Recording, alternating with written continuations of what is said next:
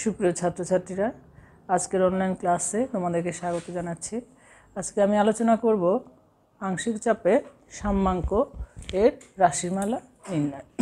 সেদিন আমরা ভরক্রিয়া সূত্রটা, গত ক্লাসে আমরা ভরক্রিয়া সূত্রটা আগে আলোচনা করে নিয়েছিলাম। এক্ষেত্রেও তাই যে কোনো বিক্রিয়ার গতিবেগ, নির্দিষ্ট তাপমাত্রায় কোনো বিক্রিয়ার গতিবেগ তার সক্রিয় ভরের সমানুপাতিক। সক্রিয় ভর সমান আমি কি বলেছিলাম?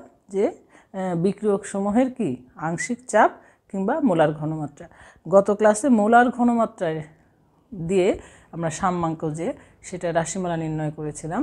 তাহলে আজকে আমরা সে আরেকটা আছে সক্রিয় ভর বলতে যেটা আংশিক চাপ, সেই আংশিক চাপের সাম্যাঙ্কের রাশিমালা নির্ণয় করা দেখাবো।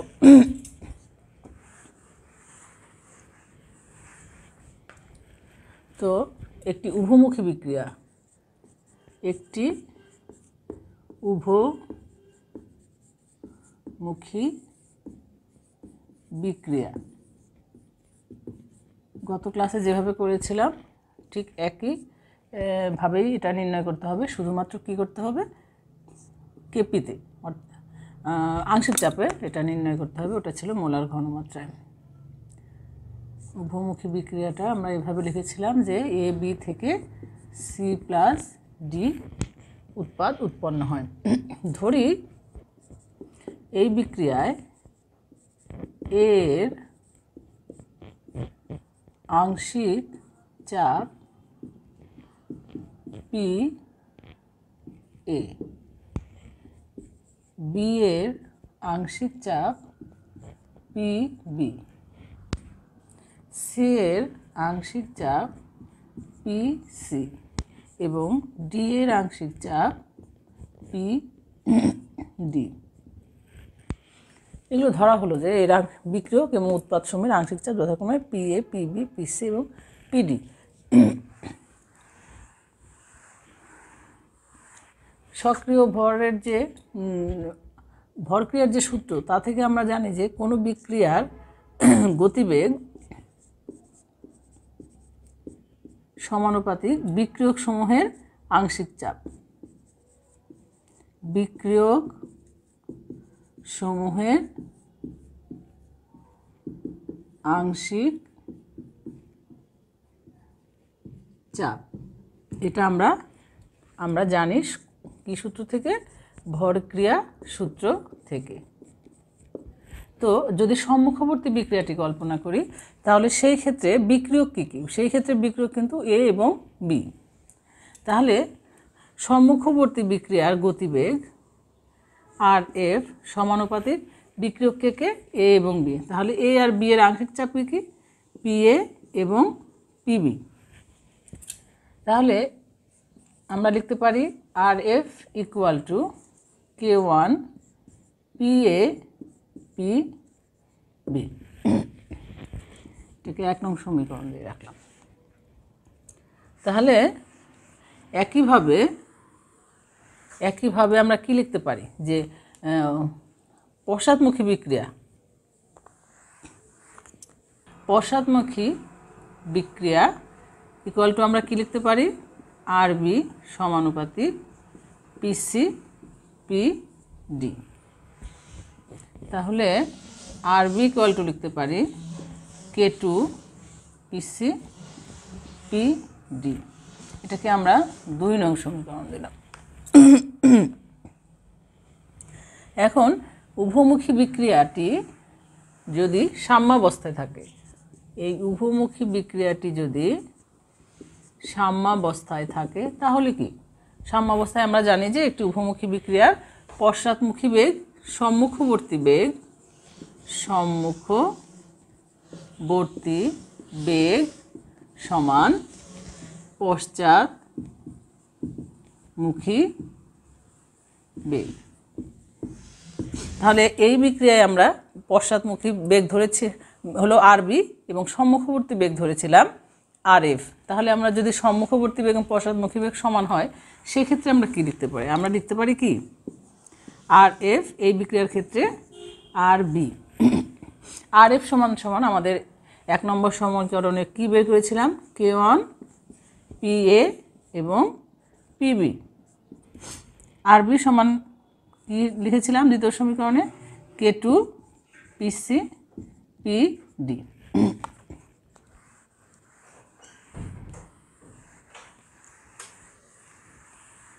তাহলে এখান থেকে আমরা কি লিখতে পারি? লিখতে পারি যে K one by K two equal to PC by PD divided by PA PB এখন এটা একটি ধ্রুবক কে ওয়ান একটি ধ্রুবক, সমানুপাতিক ধ্রুবক এবং কে টু সমানুপাতিক ধ্রুবক। তাহলে দুটি সমানুপাতিক ধ্রুবকের যে ভাগফল সেটাও কিন্তু সমানুপাতিক, অর্থাৎ ধ্রুবক যে দুটি ধ্রুবকের ভাগ ভাগফলও কিন্তু ধ্রুবকই হবে। সেটাকে আমরা কেপি দিয়ে প্রকাশ করলাম। পিসি এবং পিডি পিএ পিবি এই যে কেপি বের হলো, এটাই হলো আমাদের আংশিক চাপে আংশিক চাপে সাম্যাঙ্ক। এটাই আমাদের নির্ণয় কেপি এখন কেপি সমান আমরা কি লিখতে পারি? কেপি সমান কিন্তু এটা কি, এগুলো কি ছিল আমাদের? সি এবং ডি ছিল উৎপাদ। এটা ছিল সি এর আংশিক চাপ, এটা ছিল ডি এর আংশিক চাপ।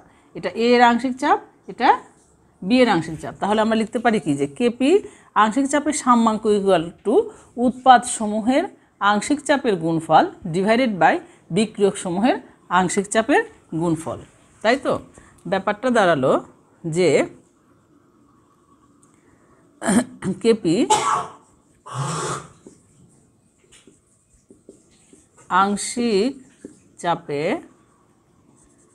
সাম্যাঙ্ক ইকুয়াল টু কি? উৎপাদ সমূহের উৎপাদ সমূহের আংশিক চাপের গুণফল ডিভাইডেড বাই বিক্রিয়ক সমূহের আংশিক চাপের গুণ গুণফল। তাহলে আংশিক চাপের সাম্যাঙ্ক কেপি গল্প দাঁড়াচ্ছে উৎপাদ সমূহের আংশিক চাপের গুণফল ডিভাইডেড বাই বিক্রয় সমূহের আংশিক চাপের গুণফল। এরপরে এখানে আমি বিক্রিয়াটি দেখিয়েছিলাম, উপমুখী বিক্রিয়া দেখিয়েছিলাম A plus B C plus D প্রত্যেকটি উৎপাদ এবং বিক্রিয়ক ছিল এক মোল করে। এখন এরকম যদি হয়, বিক্রিয়কটি যে two A plus B two C plus D এক মোল করেই যে কোনো বিক্রিয়া বিক্রিয়ক বা উৎপাদ থাকবে, তা তো নয়।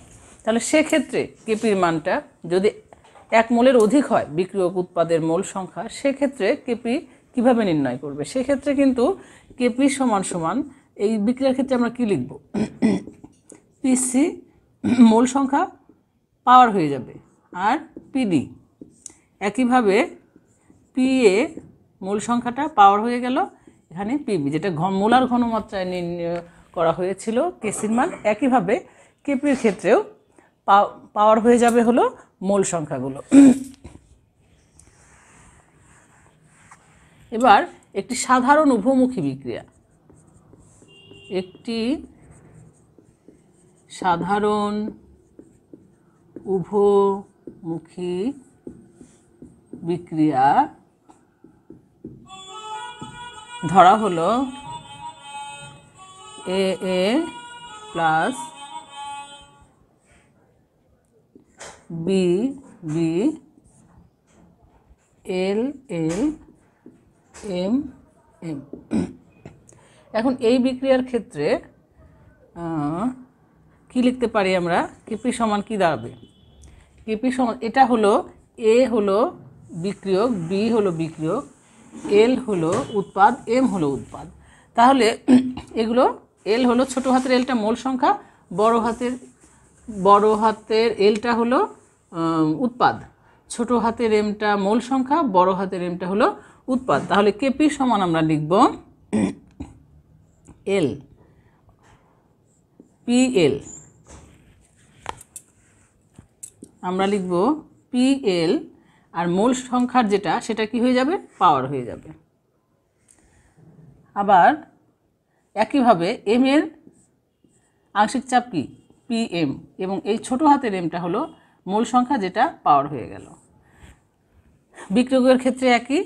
এ এর আংশিক চাপ হলো পি এ এবং মূল সংখ্যা হলো ছোট হাতের এ যেটা পাওয়ার হয়ে গেল। আর বি বড় হাতের বি বিক্রিয়ক, যেটার আংশিক চাপ হলো পিবি এবং ছোট হাতের বিটা কি হয়ে গেল? পাওয়ার হয়ে গেল।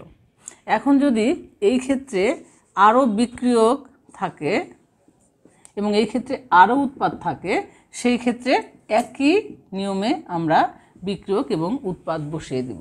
অর্থাৎ বিক্রিয়ক উৎপাদের আংশিক চাপ এবং উপরে বসবে উৎপাদ সমূহের আংশিক চাপ উপরে বসবে এবং বিক্রিয়ক সমূহের উৎপাদ সমূহ হলো আংশিক চাপগুলো নিচে বসবে এবং তাদের যে মূল সংখ্যাগুলো হবে, সেগুলো কি হবে? সব পাওয়ার হয়ে যাবে। তো এভাবেই হলো, এটাই হলো আমাদের আজকের আংশিক চাপে সাম্যাঙ্কের রাশিমালা। তো প্রিয় ছাত্রছাত্রীরা, আজকের ক্লাস আমি এখানেই শেষ করছি। তোমরা সবাই সুস্থ থাকবে, ভালো থাকবে। খুদা হাফেজ।